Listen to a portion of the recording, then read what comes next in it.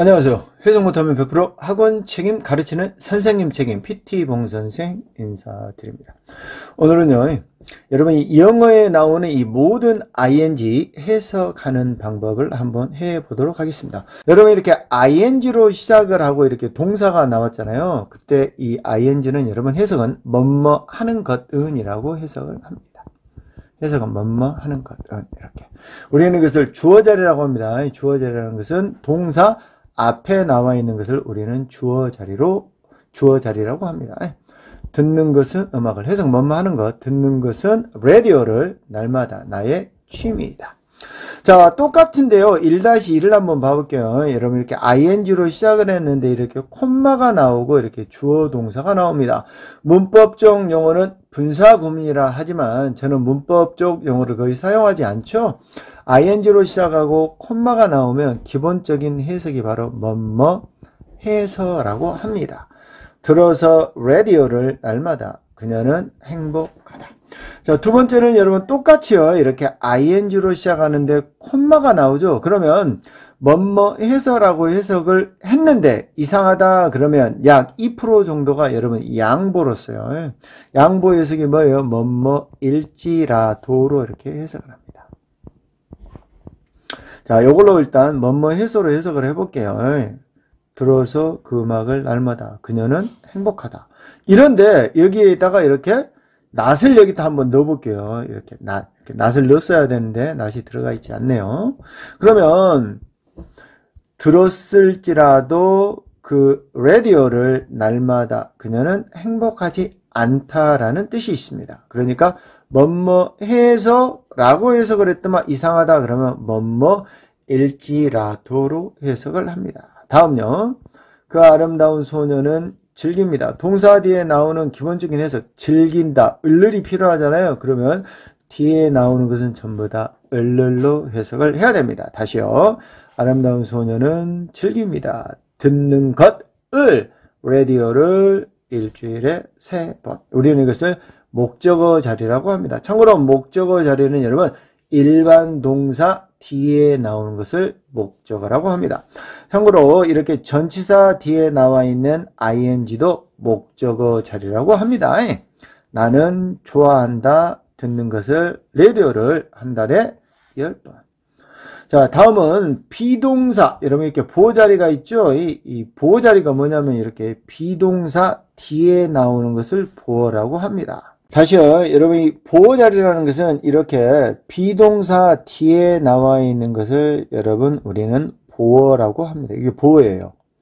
그러니까 비동사 뒤에 나왔을 때 보어는 해석이 두 가지입니다. 첫 번째 주어가 이렇게 사람일 때 주어가 사람이죠. 그럼 뭐뭐 하고 있다라고 해석을 합니다. 진행형이라고 하죠. 근데 똑같이 비동사 뒤에 ing 나왔는데 이건 진행형이 아니에요. 주어가 사물이잖아요. 그럼 해석은 뭐뭐 하는 것이다 라고 해석을 합니다. 자, 해석을 한번 해보도록 할게요. 그는 듣고 있습니다. 라디오를 한 달에 다섯 번. 그의 취미는 듣는 것이다. 듣는 것이다. 라디오를 한 달에 다섯 번. 5번으로 갑니다. 명사 뒤에 나오는 ing요. 자, 사람 사물의 이름 명사, 명사 뒤에 나오는 ing는 해석을 뭐뭐 하고 있는이라고 해석을 합니다.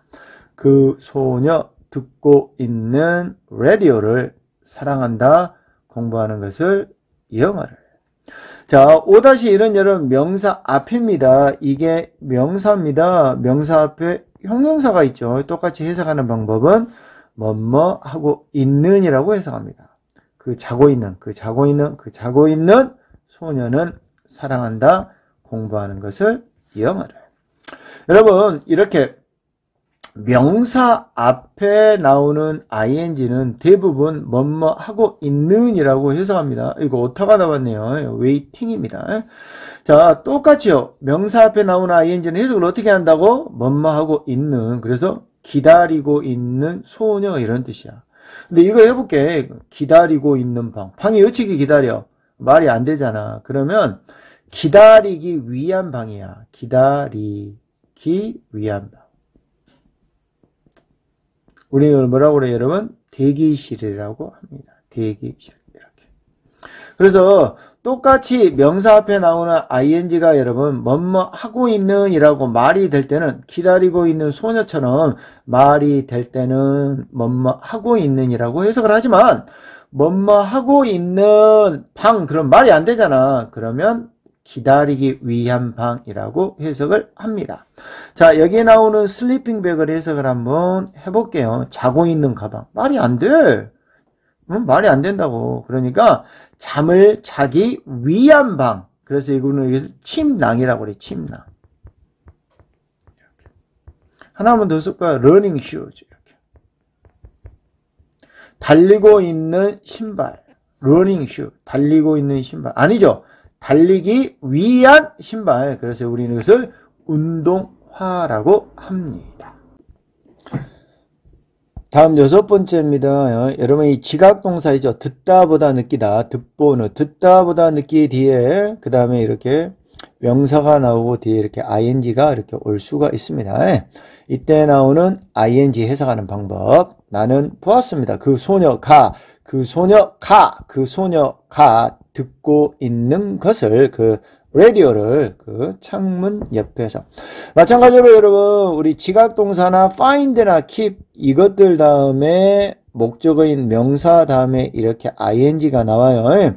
이때 나오는 find를 넣고 한번 해석을 해보도록 하겠습니다. 나는 발견했다. 발견했다. 그 소녀가 듣고 있는 것을 라디오를 keep을 넣으랍니다. 여러분이 keep을 넣으면 이때 keep은 유지시키다 이런 뜻입니다. 나는 유지시켰습니다. 그 소녀가 그 소녀가 듣고 있도록 그 라디오를 7번 갑니다. 7번은 여러분 이렇게 주어 나오고 동사 나오고 목적어 그 다음에 콤마 ing 이것도 이제 분사 구문이라고 하는데 이때 나오는 ing는 기본적인 해석이 여러분 뭐뭐 하면서라고 해석을 합니다. 이걸로 이상하면 and 동사로 해석을 합니다. 해석해 보도록 할게요.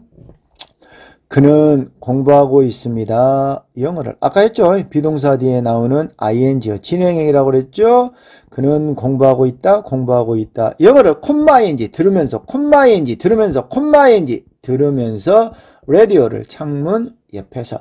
근데 여기 이상하면 end 동사. 그리고 들었다, 그리고 들었다. 다시요. 그는 공부하고 있습니다. 영어를 그리고 콤마 들었습니다. 라디오를 콤마 ing 해석하는 방법 뭐뭐 하면서나 and 동사로 해석을 합니다. 자, 8번으로 갑니다. 8번 문장하고 7번 문장하고 차이점 한번 봐볼래요, 여러분? 차이점이 뭘까요?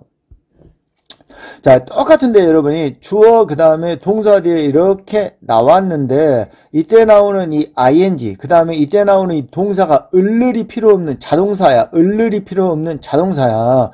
을을이 필요 없는 자동사면 여기다 이렇게 콤마를 찍어줘야 되거든. 근데 자동사면 콤마를 안 찍어줘. 그러니까 이때 나오는 ing는 똑같이 이거랑 똑같아. 뭐뭐 하면서라고 해석을 합니다. 자, 8번 해석을 다시 해보도록 하겠습니다. 그는 앉아 있었다. 들으면서 라디오를 창문 옆에서. 마찬가지로 여러분, 이 7번 문장이 콤마가 없다라고 가정을 해봐요. 그럼 똑같잖아. 그는 공부하고 있었다. 영어를 들으면서. 이게 차이점이 뭐다? 이렇게 동사 뒤에 목적어가 있으면 콤마를 주로 찍어준다. 근데 이때 나오는 동사가 자동사, 을를이 없는, 을를이 없는 자동사면 콤마를 생략을 한다더라. 그 이야기입니다. 우리는 그것을 문법적 용어로 유사보어라고 합니다. 다음 기타 관용 표현이 있습니다. 여러분 많이 들어봤을 거예요. spend 다음에 돈, 시간, ing. 이때 나온 ing도 마찬가지로 이렇게 콤마가 있었단 말이야. 근데 뺀 거야. 어? 뭐뭐 하면서라고. 그는 소비한다 많은 시간을 들으면서 라디오를 창문 옆에서 자, have difficulty ing 이렇게 관형 표현이죠. 그는 어려움을 가지고 있습니다. 콤마 ing 또 콤마가 생략된 거다니까 번역하면서 영어 책을 다시요. 그는 가지고 있다 어려움을 번역하면서 영어 책을.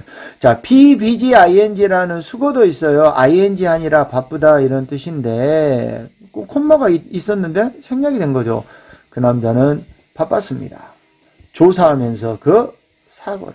그 다음에 아까 했던 여러분 킵이 있는데 킵은 설명할 게 많죠. 여러분 이 기초 구문 독해 세 개 다 넣어놨는데 여기 빼볼까요? 그러면 keep ing가 나왔죠. 그럼 계속해서 뭐뭐 하다잖아. 그는 계속해서 공부했다. 근데 이렇게 목적어가 있어. 그럼 이때 keep은 유지시키다 이런 뜻이죠.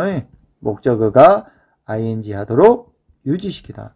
그는 유지시켰다. 그 소년이 그 소년이 공부하도록 3시간 동안. 오늘은 여러분 뭘 공부했습니까? 영어에서 나와 있는 모든 ing에 해석하는 방법을 해 보았습니다. 오늘도 즐거운 하루가 되시기 바랍니다. 감사합니다.